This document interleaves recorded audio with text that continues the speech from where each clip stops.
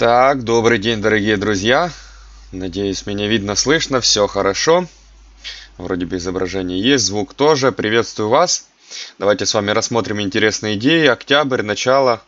Продуктивное у нас было этого месяца, да. Посмотрим сейчас, что у нас сформировалось на конец недели.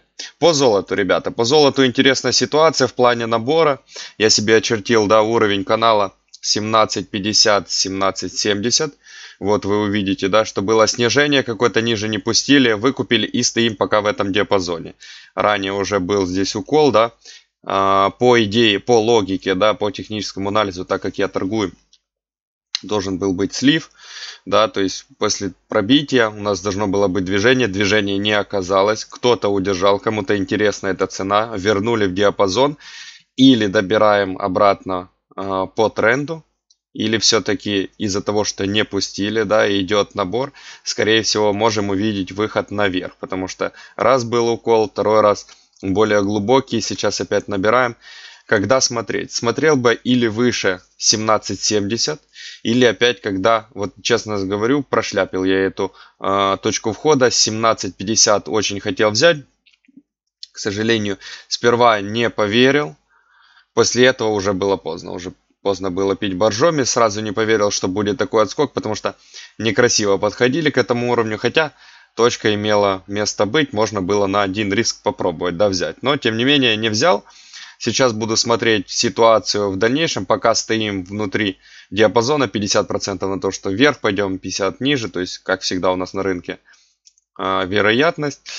По выходу я бы уже тогда определял. Пока смотрится вроде бы сильно, вроде бы держат, да, не сливают. Поэтому я бы посмотрел все-таки на открытие лонговых позиций. Но это золото. В пятницу в 3 часа там по Америке, например, а, открытие выходит какая-то новость и его сливают. Поэтому здесь с теханализом нужно быть аккуратным, поэтому это, потому что это золото.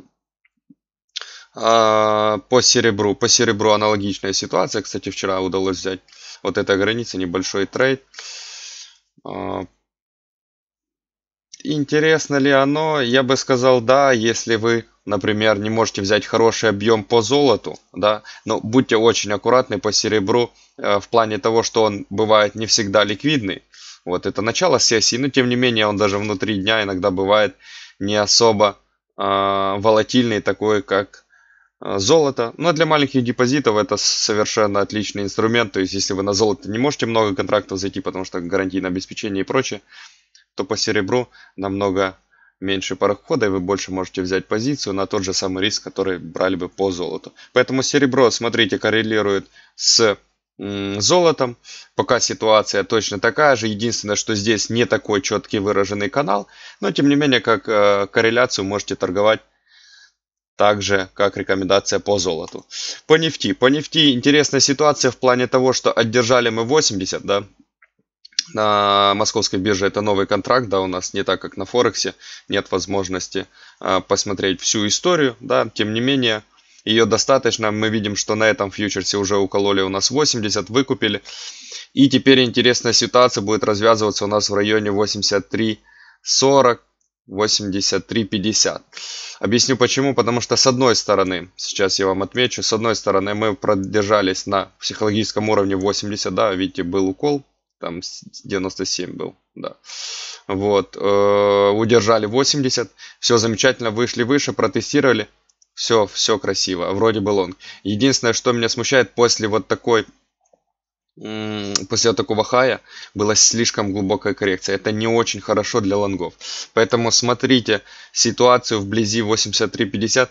Если будем закрепляться, всегда не спешите по нефти. Нефть в основном дает заход, да, она не, не идет прям сразу моментально, она всегда хорошо рисует точку входа. Будьте осторожны, скорее всего, если здесь начнут засаживать, вы увидите, что была э, консолидация. Все замечательно, рисовался лонг и потом будут заводить обратно. Скорее всего, можно попробовать спекулятивно, опять же, потому что вы э, на глобальном тренде находитесь. Спекулятивно, аккуратно взять шорт и какие-то свои 3, 4, 5 к одному забрать но не жадничать, потому что в любой момент разворачивается э, тренд, разворачивается рынок и идет э, в сторону тренда. Потому что инерцию вот эту, которую мы набрали, очень тяжело остановить одним днем или вот такой формацией. Поэтому будьте осторожны. Если будут разводить, можно попробовать шорт. Но в основном смотрите по тренду, торгуйте по тренду. Это будут самые большие ваши деньги, именно заработанные по тренду. Доллар-рубль неинтересно пока, да, слили нас ниже уровня. Пока стоим, сегодня пятница, скорее всего, будет откуп, да, кто-то будет фиксировать свои позиции, кто открывал заранее. Поэтому пока ничего интересного. Единственное, что если мы вернемся к этому уровню, здесь можно будет посмотреть, ну, очень аккуратно, скорее всего, после ложного пробоя, или даже заведут постоять несколько дней, покажут, что вот все замечательно, мы зашли в канал. И тогда только открывать шортовые позиции, то есть после тестирования уровня 73 432. По евро-доллару хотел бы вам что-нибудь интересно рассказать, к сожалению, ничего. Посмотрим с вами АТР.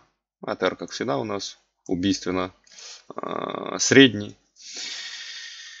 Ничего интересного. Да, движемся по тренду. Если удастся где-то зайти по хорошей цене на продолжение движения, да, но я бы уже ждал отката, потому что очень много прошли. Я не считаю это за откат, да, то есть откат должен быть более весомый. Если мы, например, прошли, то вот это движение можно назвать откатом. Здесь пока без отката идем уже.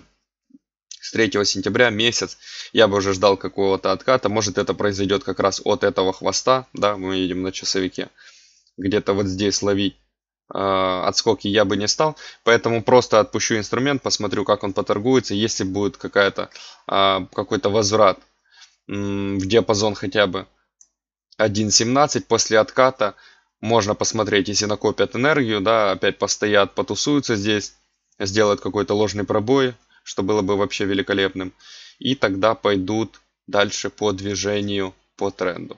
Поэтому вот такой коротенький обзор пока наблюдаем, пока смотрим, очень осторожно торгуем. Желаю вам хороших трейдов, прибыльных сделок. Всего доброго.